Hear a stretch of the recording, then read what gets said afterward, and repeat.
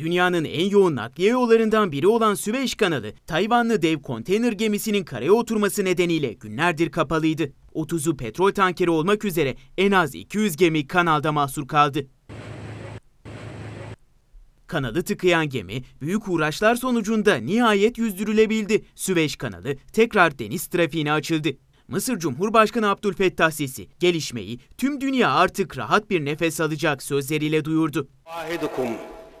Süveyş kanalında ticaret trafiğinin durması salgın nedeniyle sıkıntı yaşayan lojistik hatlarındaki sorunları daha da derinleştirdi. Avrupa'dan Asya'ya giden petrol ürünlerinin %20'si Süveyş kanalından geçiyor. Dünya ticaretinin ise yaklaşık %12'si Süveyş kanalından yapılıyor. Günlük yaklaşık 10 milyar dolar değerinde malzeme bu kanaldan geçiyor.